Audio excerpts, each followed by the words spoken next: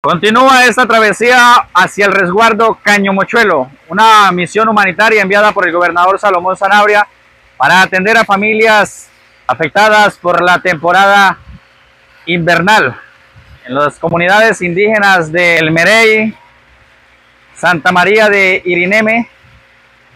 Y aquí, con ayudas humanitarias, serán 23 horas de este recorrido, arrancando desde Yopal, Padiariporo, a Tocorosal, Tame, Norte.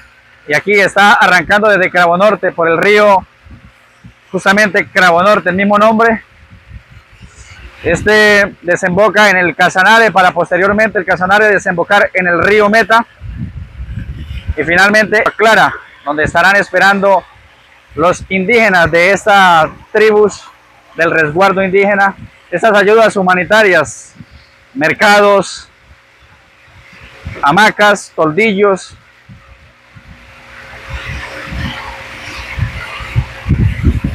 cobijas, utensilios de cocina y hasta kit de aseo.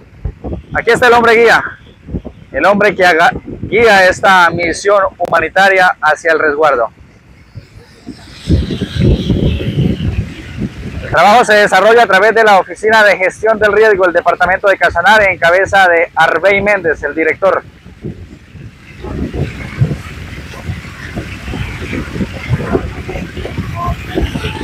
Así continúa este trabajo de hombres y mujeres en el tiempo de Casanare.